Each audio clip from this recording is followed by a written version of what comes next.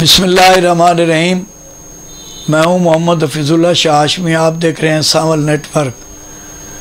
आज की जो ताज़ा तरीन सियासी सूरत हाल पर तबसरा करने के लिए मुझे कहा गया है गुज्त रोज़ जो कि एक ख़ास अहमियत का हामिल है, जिसमें एक तो हमारी पाक अफवाज ने जो अपनी मीटिंग की और ये बात तय की कि जिन्होंने फ़ौजी अमलाक हों या पाकिस्तानी अमलाक, और जो शदा के यादगारें हों या दीगर चीज़ें जो तोड़ फोड़ में मुलवस हैं और जो शरपसंद अनासर ने यह कार्रवाई की है, उनके मुकदमात फ़ौजी अदालतों में चलाए जाएँगे।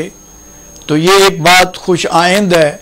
मैं समझता हूँ कि ये ज़रूरी है क्योंकि किसी को आइंदा इस बात की ज़रूरत न हो कि जो कार्रवाइयाँ हमारे दुश्मन भी न कर सके, वो आज कार्रवाइयाँ हम लोग कर रहे हैं। तो लाजमी बात है, इसके पीछे कोई ना कोई ऐसे महरक़ात हैं जिनका हमें पता चलना बहुत ज़रूरी है और वो तब पता चलेगा जब उनको लोगों को कटहरे में खड़ा किया जाएगा शरपसंदों को और उनके ख़िलाफ़ कार्रवाई अमल में लाई जाएगी।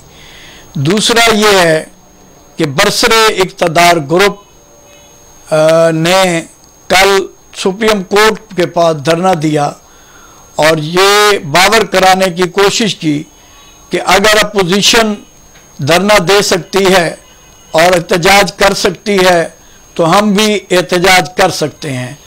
अब एक तरफ़ जो कहा जा रहा है, जो लोगों को बावर कराया जा रहा है कि वो पाक फौज के ख़िलाफ़ हैं और उसकी हम पुरजोर मजम्मत करते हैं, क्योंकि पाक फौज ही के जवान और अफीसरान इस मुल्क को आज बचाए हुए हैं और मुल्क को कौम के लिए जो शहादतें दे रहे हैं, जो कुर्बानियाँ दे रहे हैं, वो सबके सामने हैं।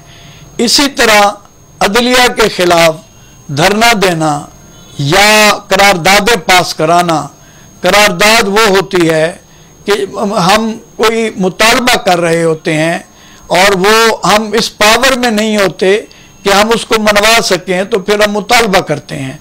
तो हम मुतालबा कर रहे होते हैं कि ये काम ऐसा होना चाहिए।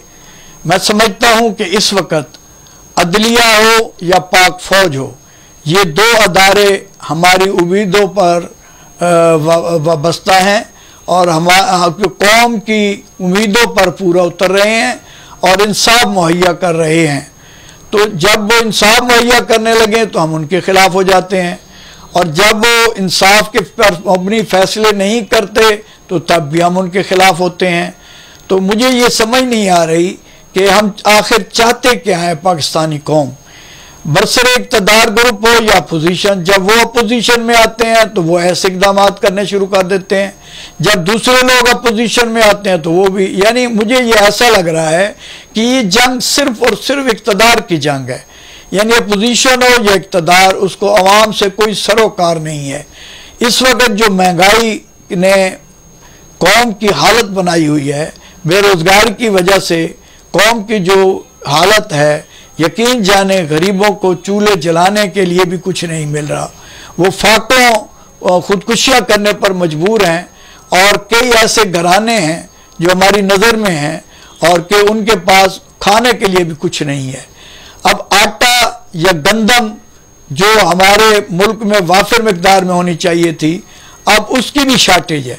अब गंदम का नया सीज़न शुरू हो चुका है, मगर उसके बावजूद गरीब बेचारा गंदम से महरूम है और आटे से महरूम है जब हमें बुनियादी सहूलियात ही मैसर ना हों, जब हमें खाने पीने की चीज़ें मैसर ना हों, जब हमें बुनियादी इंसाफ भी मैसर ना हो, जब अब उन लोगों को कि जब सैलाब आए तो फौज आ जाए, जब मीटर चेक करने हो तो फौज आ जाए, जलजले हो तो फौज आ जाए, अमन कायम करना है तो फौज आ जाए, और अब हमने जो हाल उनके साथ किया तो ये नाकाबले बर्दाश्त है।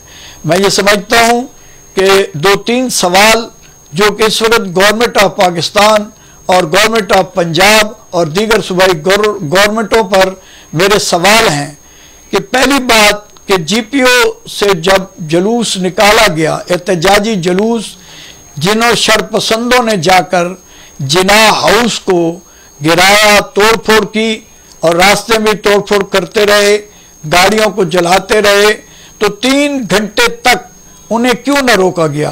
और वो किस तरह जीपीओ चौक से होते हुए तो वो जिना हाउस तक कैसे पहुँचे?